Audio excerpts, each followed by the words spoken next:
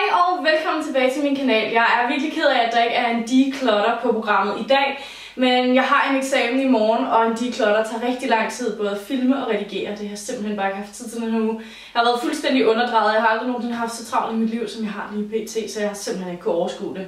Men den kommer op meget, meget snart. Det lover jeg. I stedet tænkte jeg, at jeg ville lave mine forårs must-haves i dag. Og den her video er sponsoreret af Magasin. Det betyder bare, at alle de ting, jeg nævner, kan fås hos Magasin.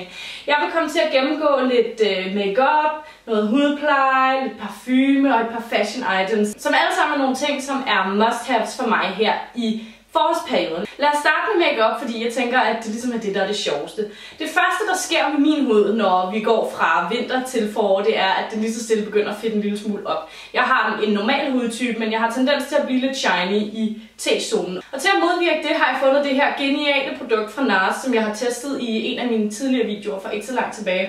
Det her det er deres Pore and Shine Control Primer, og den her er sindssygt effektiv til at matere, men uden at den tørrer huden ud, og uden at foundation sidder grimt ovenpå. Fordi det føler jeg tit med en materende primer. Enten så er de meget, meget silikontunge, det er den her heller ikke.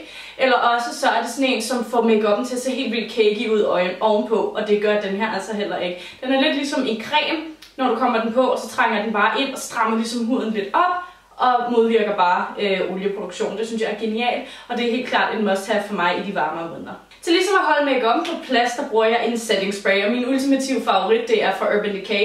Det her det er deres All Nighter Makeup Setting Spray. Min er næsten tom, og den er også helt vildt nusset og ulækker.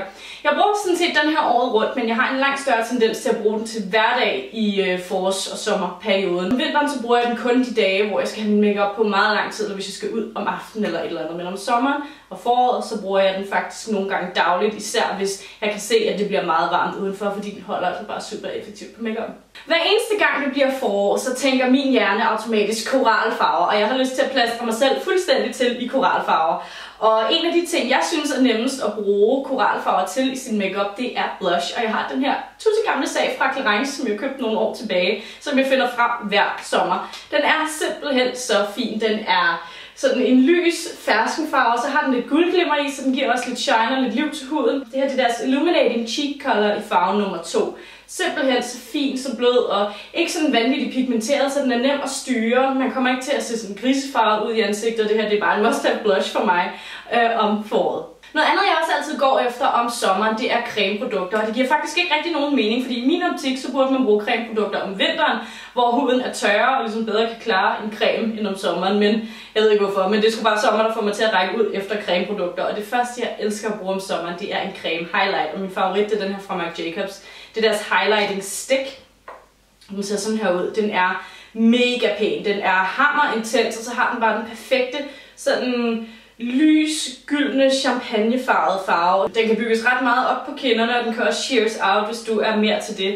Du kan bruge den både ovenpå og under foundation, og jeg har faktisk også lagt mærke til, at man kan bruge den ovenpå sin foundation, efter man har sat den, hvilket er ret smart, hvis du nogle gange som mig bare kommer puder i hele krydderen, og så glemmer at du havde tænkt dig at bruge et cremeprodukt, så virker den her altså også ovenpå pudder, puder, hvilket er et kæmpe plus. Forresten ja, så har jeg faktisk øh, et øh, blågrønt highlight på i dag. Jeg netop lige har købt det første gang, jeg prøver det.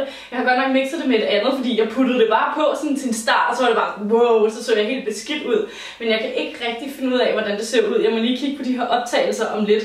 Øh, men jeg kommer nok sådan til at eksperimentere lidt med, rundt med det, og så videre, øh, og finde ud af, om jeg kan få det til at fungere for mig. Men I vil se, hvad det er for et i et haul meget, meget snart. Generelt så er min makeup ikke særlig forårsagtig i dag. Jeg har bare siddet og lavet lidt en farve, fordi jeg havde brug for et break fra mine bøger. Anyway, et andet cremeprodukt, jeg også er vild med at bruge om sommeren, er en creme bronzer. Og det her det er den nyeste af slagsen i min samling, som jeg faktisk er rigtig, rigtig glad for. Den er fra L'Oreal. Det her det er deres Glam Bronze Cushion de Soleil, og det her det er en flydende bronzer i cushionform. Kom så, åbn op en gang.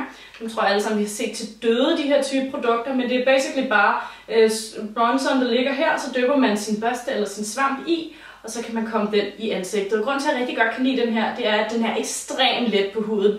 Så den føles ikke fedtet eller ubehagelig. Den er nem at arbejde med. Den er nem at tone ud, øh, som I kan se her. Men den kan også bygges rigtig meget op til at give en super intens bronzy effekt, og så gør det jo ikke noget, at den er budgetvenlig. Jeg er vild med det her produkt, og jeg kan helt klart anbefale dig det, hvis øh, du godt kunne tænke dig at eksperimentere lidt med flydende bronzer. Jeg synes, det giver en helt vildt flot, lækker og glødende effekt på huden. En sidste ting makeup-wise, som er et must-have for mig her i forårssæsonen, er faktisk lidt atypisk mig.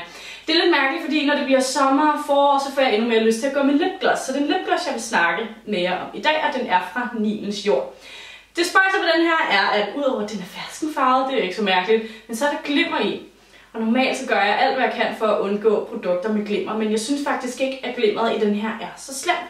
Fordi når den kommer på, så ser det mest bare ud som en, en sheen. Jeg kan ikke mærke glimmeret på min læber, men den fanger bare lyset så fint. Og jeg synes, den er super fin at toppe øh, en læbestift af med. For eksempel den, jeg har på i dag, kunne den så rigtig fin ud over. Og så kan den også bruges alene. Som sagt, så kan jeg godt lide at bruge lipgloss om foråret og i de varmere måneder, fordi det giver et friskere look. Lad os lige hurtigt rykke videre til parfume, for der skifter jeg også en lille smule ud, når vi rammer sommermånederne. Ikke min aftenparfumer, det er stadig de super tunge, kraftige in-your-face parfumer, som jeg foretrækker om vinteren. Men i dagstimerne, så kan jeg godt lide at gå efter noget, der er en lille smule lettere, men som selvfølgelig stadig kan duftes. Og en af mine favoritter er fra The Body Shop.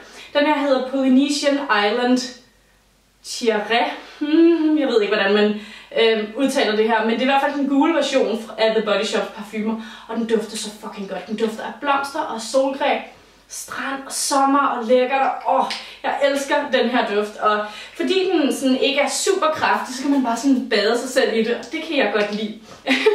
De her er også forholdsvis prisvenlige, hvilket jeg synes er super sejt, øh, fordi ja, jeg bruger faktisk parfumer rimelig hurtigt op, hvis jeg bare bruger en, så that's a winner for me, at prisen er god. Men jeg kan helt klart anbefale at gå ned og give den her en sniffer, hvis du er på udkig efter en parfume her til forårssommermånederne. En lynhurtig mention af et kropsprodukt, som faktisk også er fra The Body Shop, øh, er den her body lotion. Det her det er deres British Rose Instant Glow Body Essence. Grunden til at jeg fremhæver den her, det er, for det første, så dufter den røvgodt. Den dufter sådan en rose.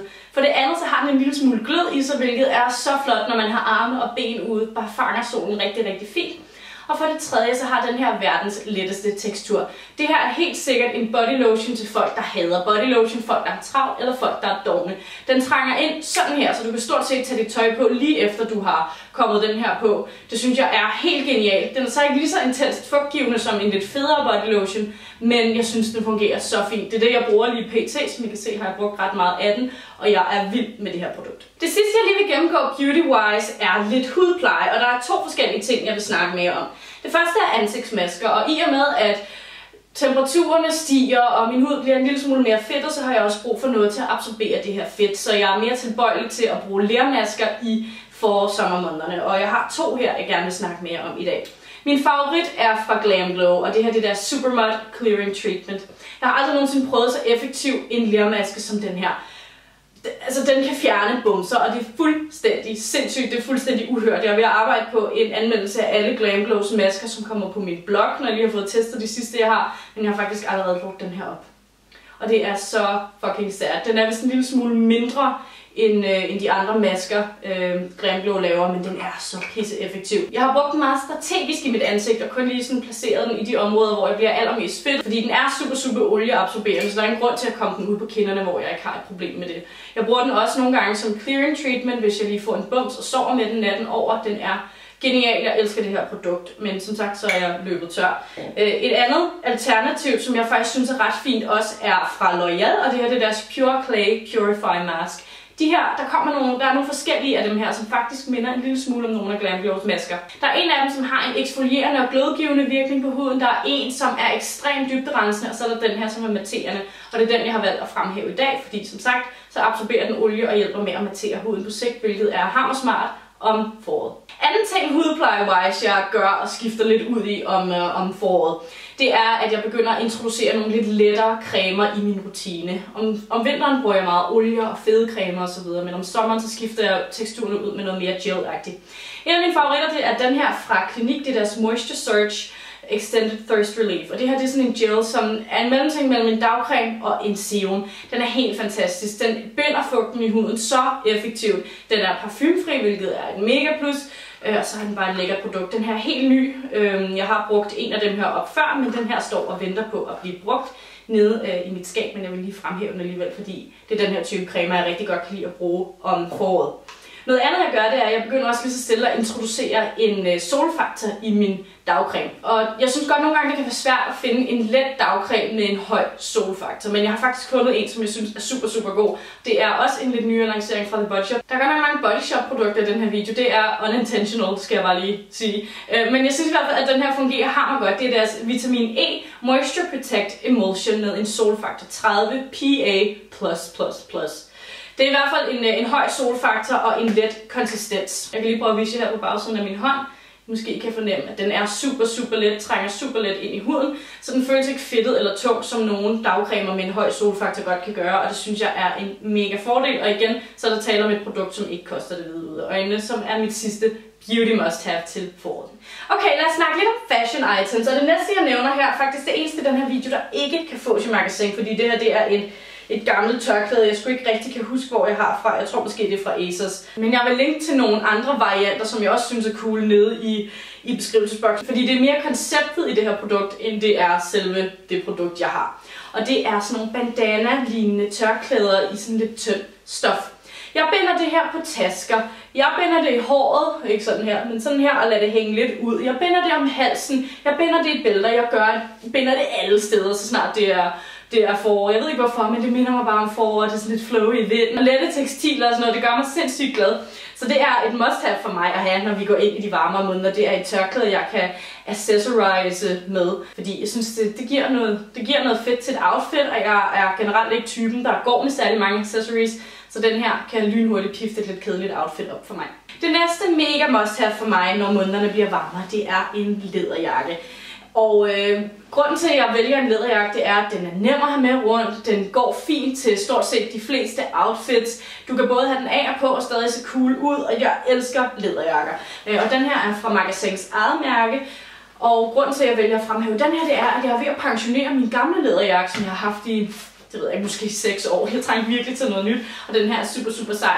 Den er rimelig kort i modellen, og så har den øh, de, den her fine åbning her med de her flapper, som også er rimelig klassiske.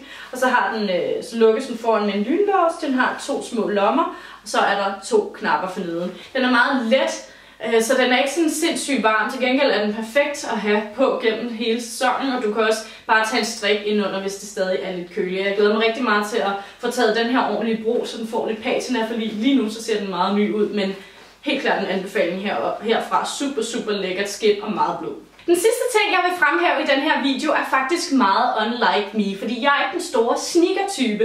Jeg ved ikke hvorfor, men jeg har altid været lidt nære, øh, når det kommer til sneakers, fordi jeg har ikke lyst til at give, hvad, 800 kroner for et par sko, der er lavet af neopren. Det har jeg sgu altid været for nære til. Men jeg kan virkelig godt lide trenden med sneakers, med de her store snørebånd. Og jeg har desuden fundet et par i en kvalitet, som jeg gerne ville betale for. De er nemlig lavet i øh, skin og rågummi. Og de er fra Billy B. Home kunne være, skulle tage den her ud. De er spritnye, og de ser sådan her ud. Er de ikke bare super, super cute?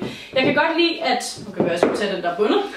jeg kan godt lide, at de er sådan lidt høje i solen, så de giver mig lidt højde, og det får mig også til at se lidt mere edgy ud. Og så er jeg som sagt vild med den her øh, sløjfe, som igen synes jeg både gør dem mere interessante, men også lidt mere, ja, det ved jeg ikke, feminin at se på. Jeg er vild med den her sko, og jeg er stort set vild med alle sneakers med den her form for store snørbånd i. Så det behøver ikke nødvendigvis være dem her, der lige er et must have, men bare øh, den her type sneakers, som jeg bare synes er så fin den her sæson. Det var alt fra mig i dag. Jeg håber virkelig, at videoen kunne være til inspiration. Jeg skal have tusind, tusind tak, fordi I har set med, og så ses vi i min næste.